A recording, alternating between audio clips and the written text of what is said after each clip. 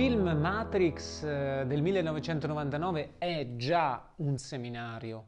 Di per sé il film stesso si presenta come, se uno lo sa leggere, se uno sa vederlo, come un'iniziazione alla comprensione eh, di certi misteri della vita e mh, di certe dinamiche della vita e dell'evoluzione della coscienza. Ma un conto è guardare il film e cercare di comprendere e un conto è entrarci dentro, dentro il film e dentro la simbologia esoterica che è nascosta. Matrix svelata è il titolo eh, di questo seminario. Ci vuole un seminario per spiegare la simbologia perché eh, una parte è conosciuta, una parte pubblica, una parte diciamo tutti hanno accesso e un'altra è essenzialmente legata ai misteri. Conoscere i misteri antichi e moderni attraverso la visione eh, in gruppo di una pellicola importante è un'esperienza unica perché mette insieme la forza eh, del video e quindi la forza delle immagini che colpiscono direttamente l'inconscio e la forza della spiegazione eh, di un docente che eh, trasmette un'energia, trasmette un fuoco ai partecipanti e fissa dentro di loro eh, delle visioni e delle consapevolezze che influiscono profondamente nella vita di tutti quanti. Matrix stessa si presta per essere una eh, avventura della coscienza in quanto ogni tappa del film rappresenta un'iniziazione, un passaggio dell'essere umano verso, eh, potremmo dire, sua, il suo processo di individuazione. Sostanzialmente è eh, la storia dell'anima, è la storia della luce dell'anima che si manifesta e che inevitabilmente si trova a dover combattere contro una forza che eh, è da un certo punto di vista antagonista, ma allo stesso tempo è dentro l'essere umano stesso, che nella terminologia esoterica viene chiamato il guardiano della soglia. Quindi diciamo che il tutto parte dal comprendere come eh, c'è una guerra, una guerra che nel, sul piano della personalità dentro Matrix è fatta in un certo modo e oltre il piano della personalità nell'anima di tutti noi avviene in un altro modo e determina la nostra stessa evoluzione. E quindi questo ci può mettere in contatto con una visione essenzialmente duale nella vita, non perché noi dobbiamo eh, esaltare la dualità, ma perché ci permette di comprenderla questa dualità per ritrovare l'unità, che questo concetto di unità eh, è, già semplicemente nascosto nella parola del protagonista Nio, che eh, è la parola one, le lettere che formano one, cioè uno, e che ritrova l'unità passando per eh, la Trinità. La Trinità chiaramente la sua compagna Trinity. E già qui noi semplicemente accennando delle parole, ma senza entrarci dentro, perché lo scopo è quello di farlo insieme, in una giornata, già noi possiamo avere davanti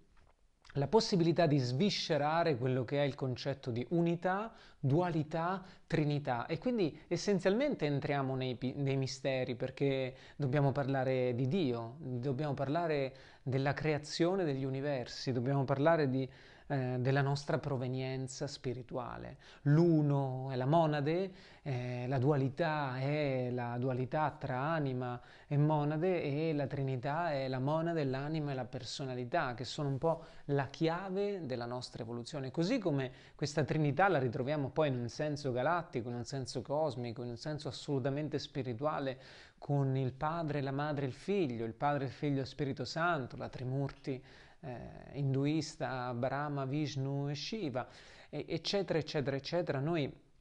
dobbiamo fare anche un collegamento tra le varie, tra le varie culture, le varie religioni e vedere come si fondono in questo film E in questo film scopriamo allora che se lo utilizziamo come strumento per accedere ai misteri, e parlare quindi per esempio della guerra nei cieli, la prima grande guerra che si combatte nel momento in cui un universo viene a nascere, dobbiamo andare per forza a prendere gli antichi testi della gerarchia spirituale, quindi la dottrina segreta e altri testi, l'insegnamento del Tempio, per vedere come eh, una scienza, perché è scienza, però una scienza di tipo spirituale, chiaramente non fisico-particellare o quantistica, anche se se ne possono fare tanti di parallelismi e di connessioni, è l'unica che ci fa entrare eh, dentro di noi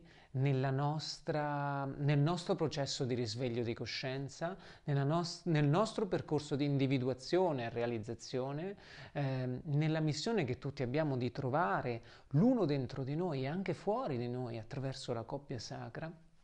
e soprattutto la lotta col nostro guardiano della soglia. Ma noi lottiamo contro il guardiano della soglia e vinciamo la nostra sfida al risveglio, all'evoluzione, solo se sappiamo perché siamo qui e cosa è vero e cosa è falso, cosa è reale e cosa è irreale. Per questo gli antichi eh, in sanscrito cantavano spesso il grande mantra Asatoma Sat Gamaya, che tra l'altro è stato messo anche alla fine come colonna sonora di uno dei film della trilogia, eh, in, una, in, una, versione del mantra molto interessante. Asatoma Sat Gamaya, e il mantra poi continua, però vuol dire dall'irreale, dall'irrealtà, conducimi alla realtà. Cioè da Matrix portami a vedere ciò che c'è oltre Matrix e Matrix in questo caso, per esempio nella cultura egizia di cui parleremo, è considerata come Iside. Allora, oltre Matrix vuol dire svelare Iside,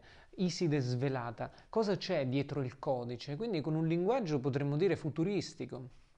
ma per certi versi anche attuale. Questo eh, film ci permette di toccare e vivere i misteri. Per questo è Matrix svelata, la simbologia esoterica del film, perché poi questi strumenti noi ce li portiamo nella nostra vita, nel nostro quotidiano, nei nostri rapporti, per guarire, per comprendere dove stiamo andando e per vivere ogni fase della vita con la consapevolezza che è scritta in un libro celeste, un libro celeste dell'evoluzione di tutti quanti. E poi va da sé che comprenderemo anche meglio perché eh, la nostra società attuale, che consideriamo moderna, si sta muovendo tutta verso una direzione che riguarda la tecnologicizzazione di tutto quanto, la robotizzazione di tutto quanto